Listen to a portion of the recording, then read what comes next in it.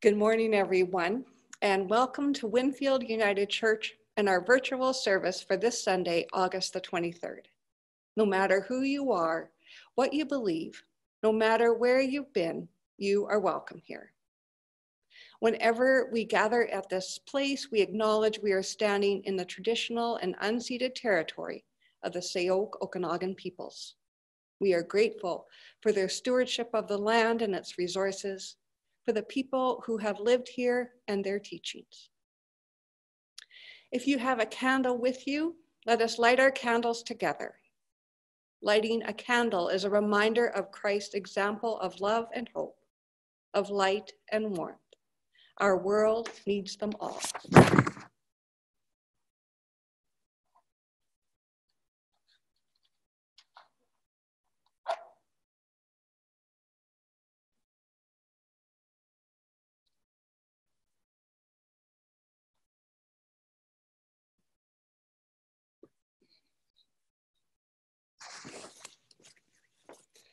Let's begin our time together this morning with a bit of centering and reflection and a word in prayer. Spirit God, as we gather this August morning, let us throw open the doors and windows to the cooling breeze. To recognize that changes in the air is a part of life, savoring things as they once were looking to the future with anticipation and hope, finding peace and contentment in our time together here and now. Open our hearts and our minds that we might experience the divine presence in so many varied and unique ways, that we may share your love and compassion as we go into our week. Amen. Our opening gathering hymn this morning is from More Voices number 12, Come Touch Our Hearts.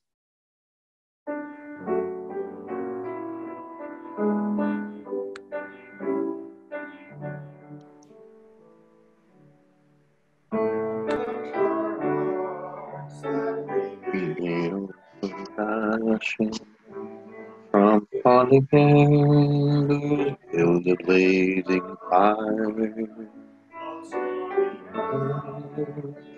overturning justice. You're more gracious, bless our hearts. Our souls that we may know and love you.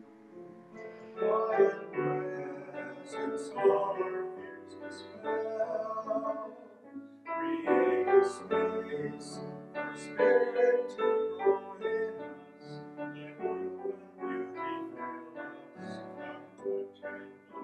Jesus.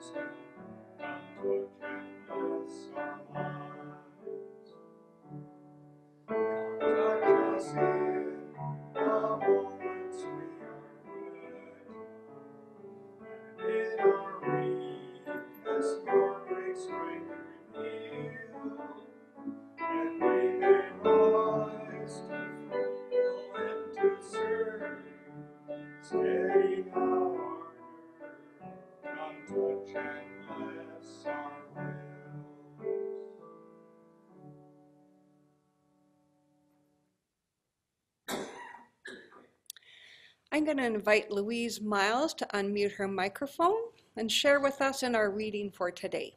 Louise. Good morning.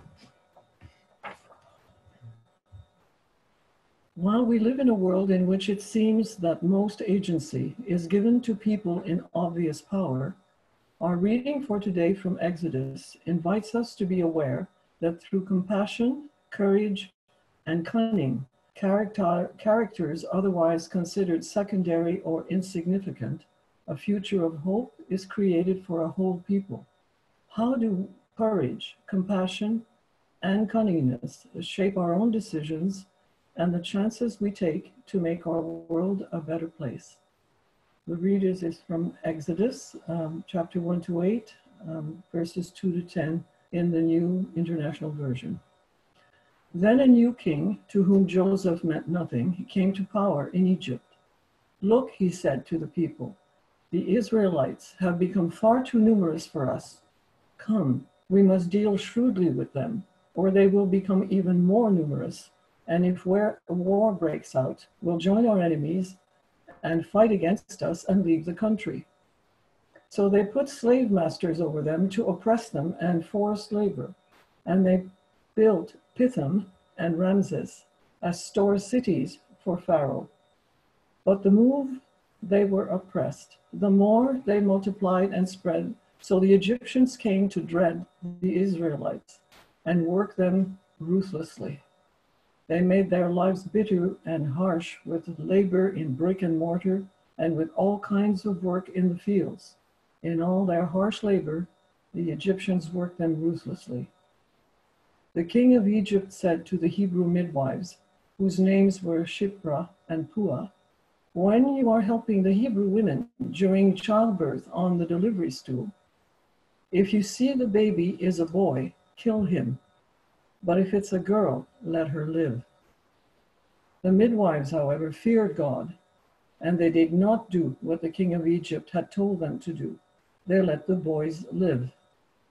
Then the king of Egypt summoned the midwives and asked them, Why have you done this? Why have you let the boys live? The midwives answered Pharaoh, Hebrew women are not like Egyptian women they are vigorous and give birth before the midwives arrive. So God was kind to the midwives, and the people increased and became even more numerous. And because the midwives feared God, he gave them families of their own. Then Pharaoh gave his orders to all of his people Every Hebrew boy that is born you must throw into the Nile, but let every girl live. The birth of Moses. Now, a man of the tribe of Levi married a Levite, Levite woman, and she became pregnant and gave birth to a son. When she saw that he was a fine child, she hid him for three months. But when she could no longer hide him, she got a papyrus, I think that's how you pronounce it, papyrus basket for him and coated it with tar and pitch. Then she placed the child in it and put it among the reeds along the banks of the Nile. His sister stood at a distance to see what would happen to him. The Pharaoh's daughter went down to the Nile to bathe, and her attendants were walking along the riverbank. She saw the basket among the reeds and sent her female slave to get it. She opened it and saw the baby. He was crying, and she felt sorry for him. This is one of the Hebrew babies, she said. Then his sister asked Pharaoh's daughter, Shall I go and get one of the Hebrew women to nurse the baby for you? Yes, go, she answered. So the girl went and got the baby's mother. Pharaoh's daughter said to her, Take this baby and nurse him for me, and I will pay you. So the woman took the baby and nursed him. And when the child grew older, she took him to Pharaoh's daughter, and he became her son. She named him Moses saying, I drew him out of the water.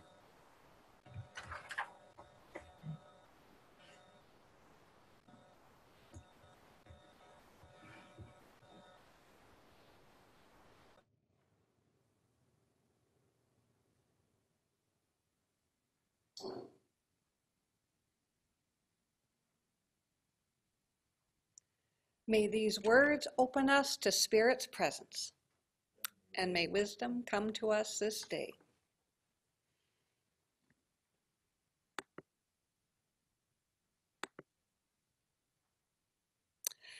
I have a confession to make. I sometimes start sentences with the word and.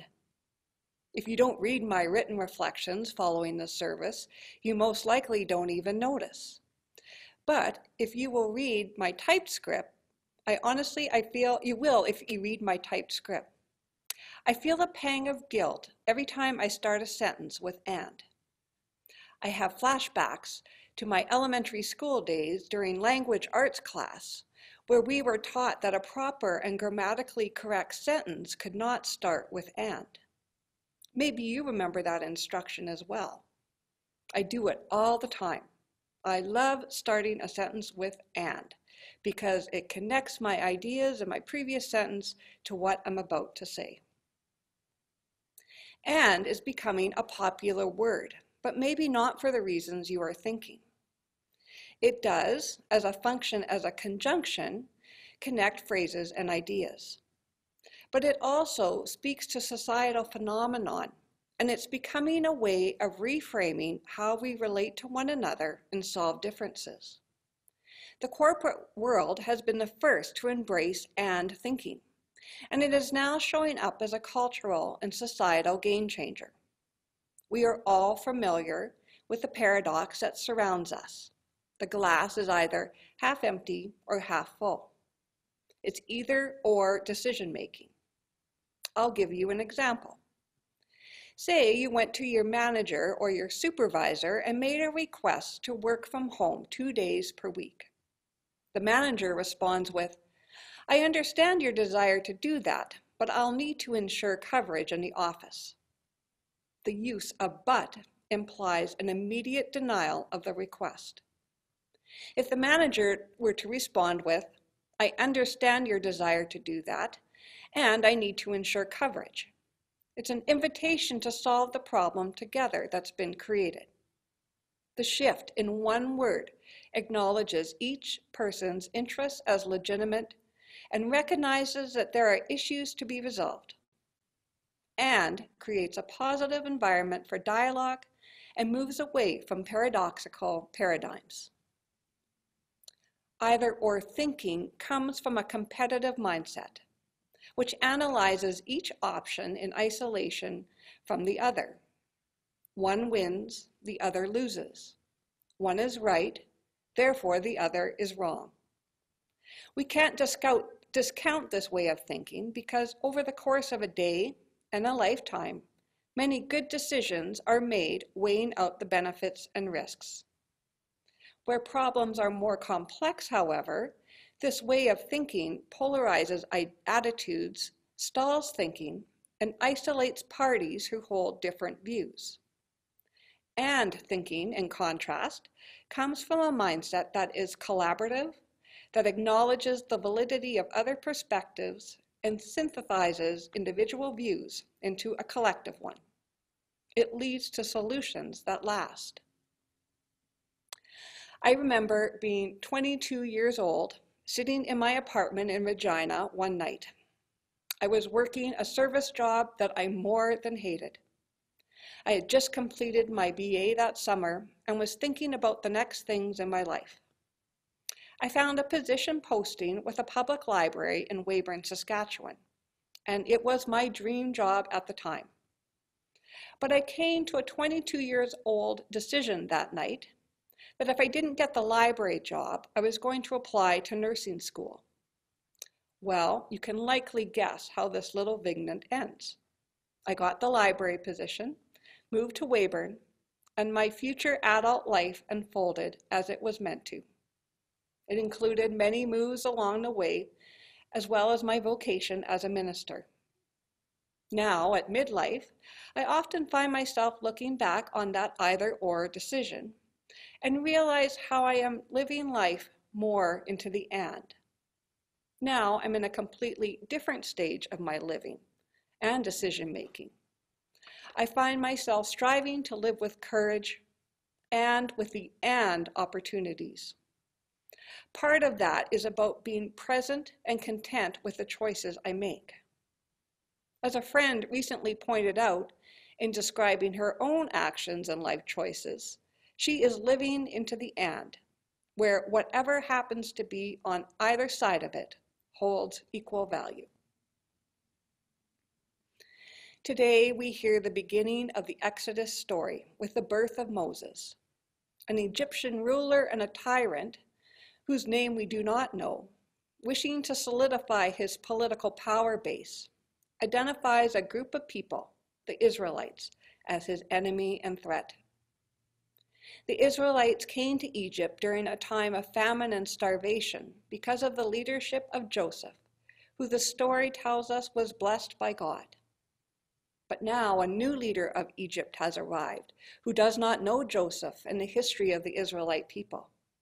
He's fearful of this group and unveils a genocide that calls for all Hebrew baby boys to be killed upon their birth.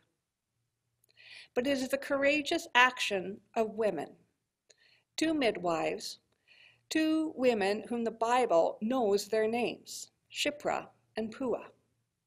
These two women, we are told, feared God and did not follow the Pharaoh's decree, and they let the boys live. And here enters Moses into our story. He is hidden by his mother, placed in a basket in the bulrushes, and found by Pharaoh's daughter. He has been born into a system that sees his people oppressed and enslaved, and he will grow to be a leader and a liberator. These two women, Shiphrah and Puah, are brave and courageous. They could have lived into the fear of Pharaoh's decree, the either or thinking. They could have just said, We'll have to follow Pharaoh's decree. We're just women on the margins and we can't stand up to such brutality.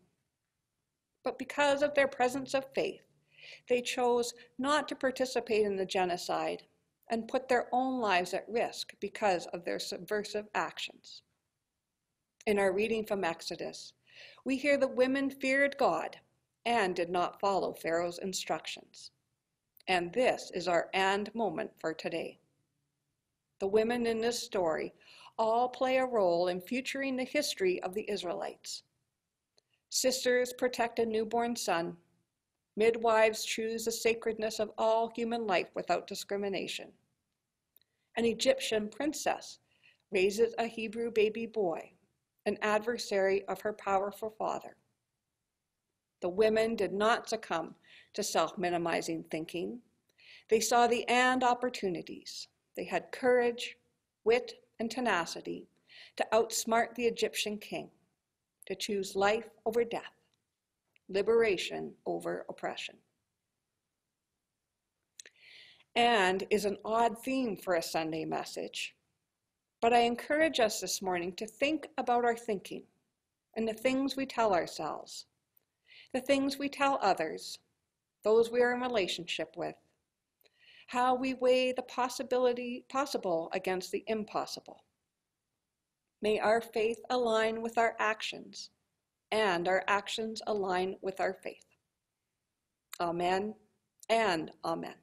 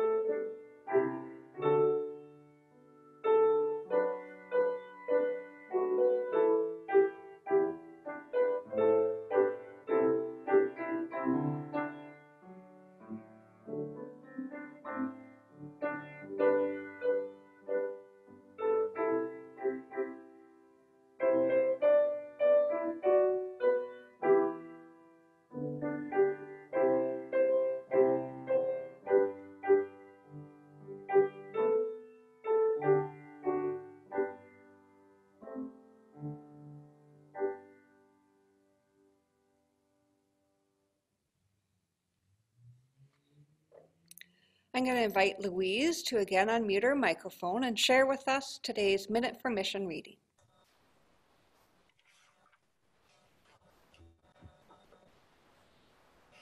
Unique teachers and unique students.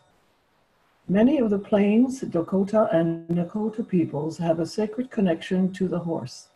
For them, the horse holds immense cultural and spiritual significance and its energy is a pow- powerful catalyst for change.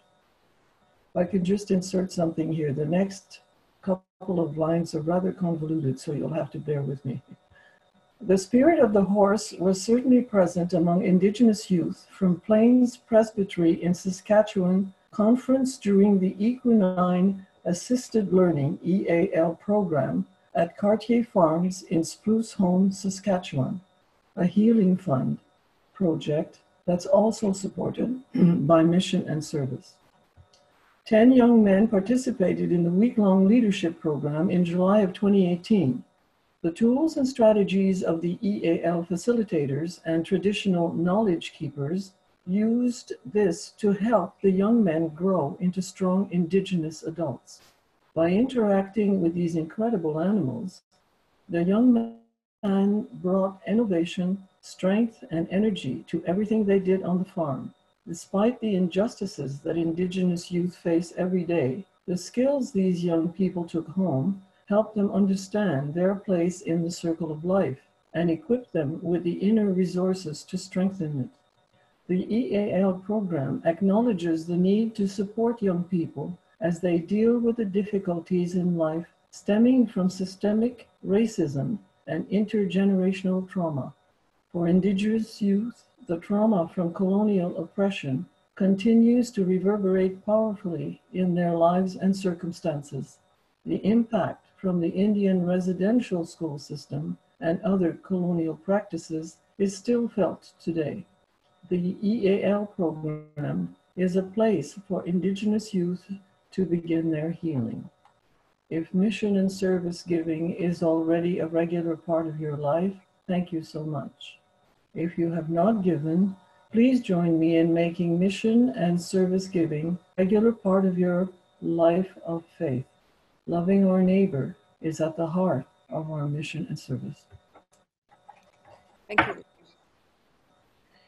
And as a community, we are grateful for all the donations we continue to receive despite um, the closure due to COVID of our building through PAR as well as mail-in offerings and e-transfers. And just by way of a reminder to um, those of you that are interested in supporting um, our mission and service partners to Lebanon, donations can be made to the United Church. They can either be made to Winfield or to the, to the United Church of Canada itself and earmarked for Lebanon relief. And I believe tomorrow is the last day for government matching funds to do that. So if you need more information, you can get in touch with myself or with May Husk. Right, so let's now prepare for our prayers of the people. And as we do so, let us pray with open hearts from the depths of our beings, sometimes with sighs too deep for words. We make this day the prayers of this gathered people, that our cares, our concerns, our joys and thanksgivings are heard and held up in the divine presence an embodiment experiment here this morning in this gathering. So as we did last week, we're going to look at some of the areas that we direct our prayers and our thoughts and our concerns. And let's start with our prayers for this world. What are your, your concerns for things maybe you've heard in the news? And I'm just going to invite you to Unmute your microphone when you are ready. I'd like to offer prayers for the firefighters in the Okanagan uh, who are trying to put out the various fires.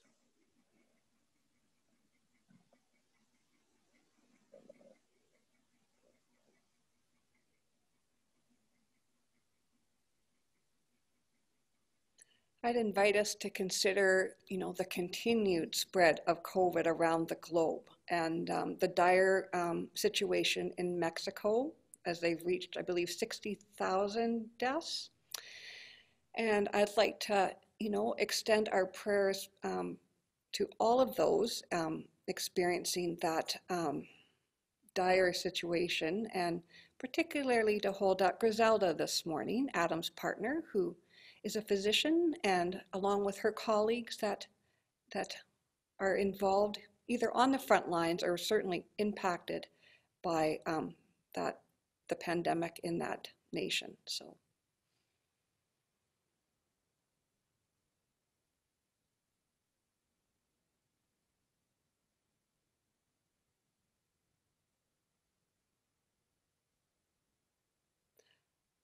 When we think of our community um, closer to home, our families, our friends, ourselves, what are those um, concerns that you bring with you or, or celebrations and Thanksgivings too?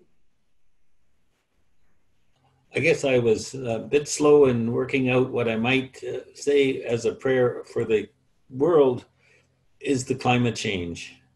And that despite all of the upset of all communication, etc., by COVID, we still have to keep working at the climate change situations and lower our impact, and that all countries will work with continuous effort to um, make gains in our climate change control.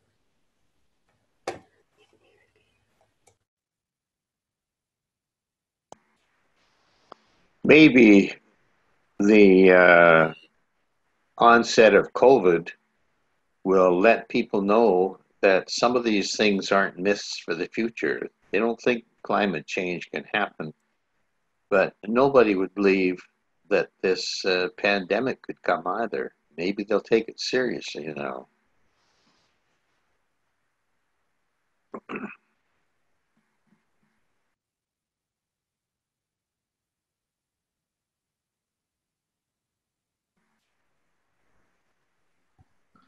On that note, I pray that those who feel that the pandemic is a hoax will learn to understand that it is a serious issue that we need to deal with. And will um, take heed with the warnings not to gather in large groups, to keep distance. I want to go back to the um, also to the international scene. And I, I'm struck by the people who are, are brave enough to stand up to oppression in countries like Belarus right now, and in, in, uh, uh, in, in Russia, where, where a political leader was presumably poisoned, those kinds of things. It, it's, I think it takes tremendous bravery to stand up in a situation like that. And, and, and I just want to extend prayers to these people who are brave enough to do that.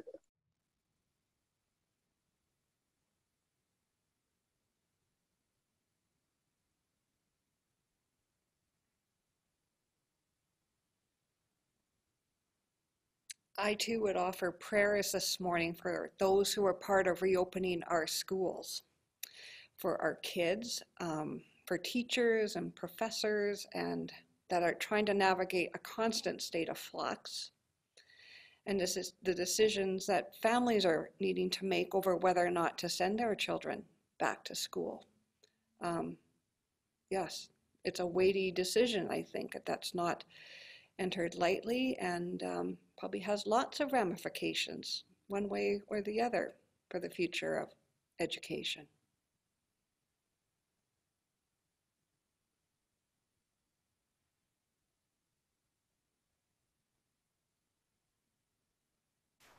I'd like to offer prayers for our leaders and politicians of all stripes across our country to sit back, take a breath, think twice, and get back to some kind of cohesion. And to just remember that it's about the people.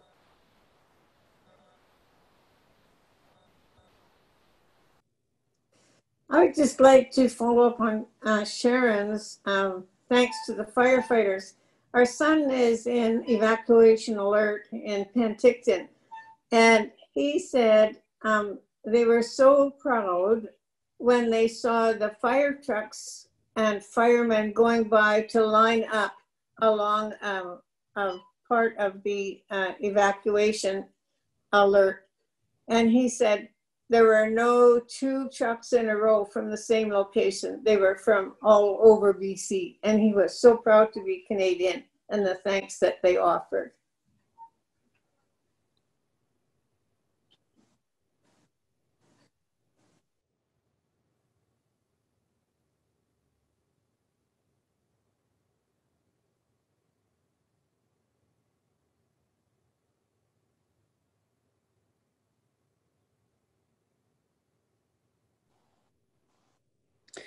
I would like to, um, I would like for us to keep in mind um, seniors that have been in uh, quotation mark lockdown uh, without being able to interact with their families and the uh, the mental anguish that uh, that the um, residents are feeling and also the families of of those that are um, trying to advocate for their loved ones to have more access in their in their waning years. Um, yeah.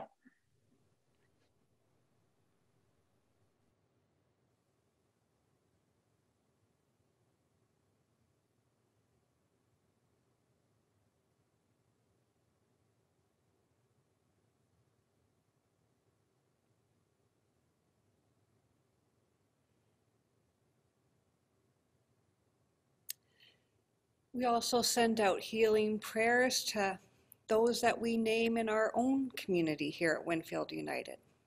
For Dawn and Bev, for Lynn and Dawn,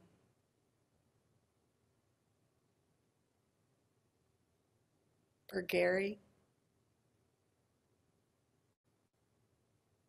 for Greg, for Shirley.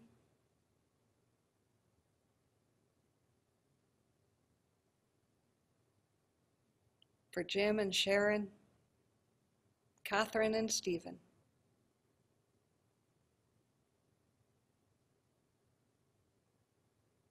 For Sandy Hebert.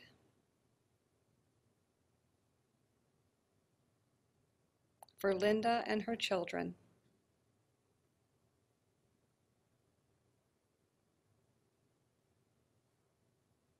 And those we name in the silence of this space.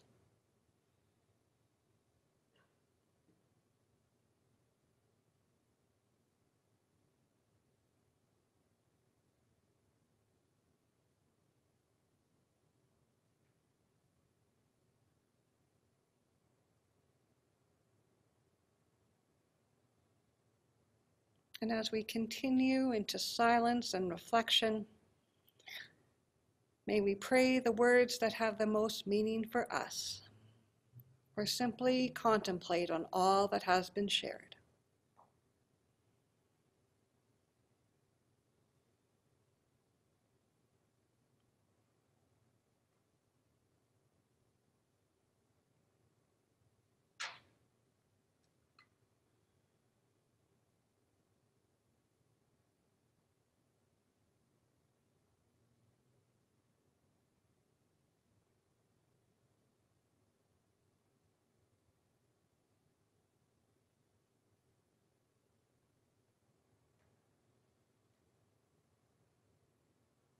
Amen.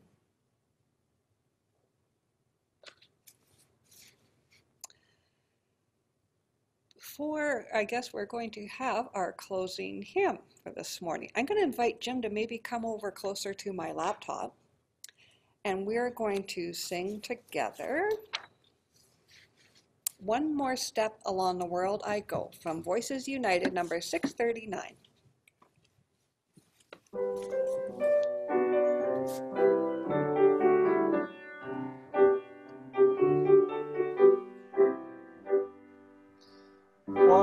More step along the world I go.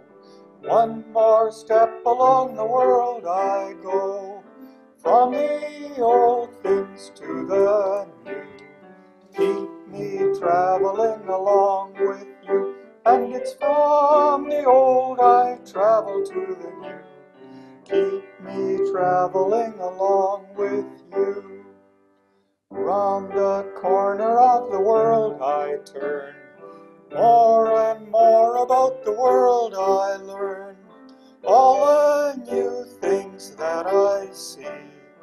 You'll be looking at along with me, and it's from the old I travel to the new. Keep me traveling along with you. Give me courage when the world is rough. Keep me loving though the world is tough. Leap and sing in all I do. Keep me traveling along with you. And it's from the old I travel to the new. Keep me traveling along with you. You are older than the world can be. You are younger than the life in me. Ever old and ever new. Keep me traveling along with you. And it's from the old I travel to the new. Keep me traveling along with you.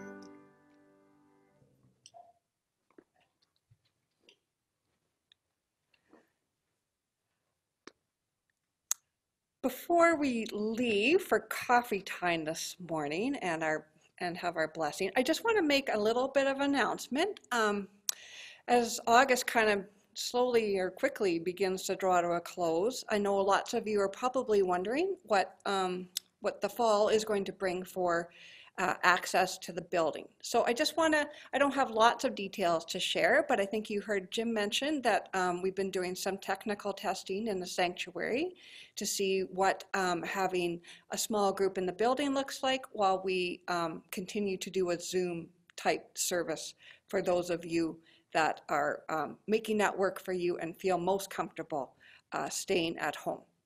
So uh, council meets um, on the 8th of September, and I expect that there will be um, a decision made about going forward um, to share with you all after that meeting. So thank you all for your patience and um, your understanding. Um, I think going forward, we're going to take small steps because this is a totally new thing and it's going to mean lots of changes for all of us, not just um, those of us in leadership, but for those that will um, uh, be participating in services in the building. So lots of details will be shared once they are made more official and are ready. So I just wanted to let you all know that and to let you know that we are coming back to the building. That is something that we hang on to. We might not know when, but we will gather again. It'll be steps along the way, along the world we go. So Blessings on your week, and let us now join together in our commissioning and sending forth.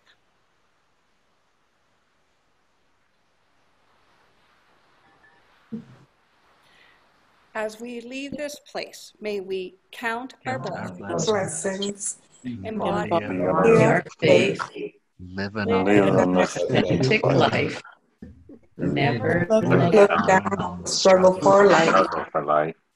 Notice, Notice behind there is. a soul, a soul and, and know know that that wherever wherever we we go, go, the Spirit Spirit of of God. God already already. Amen.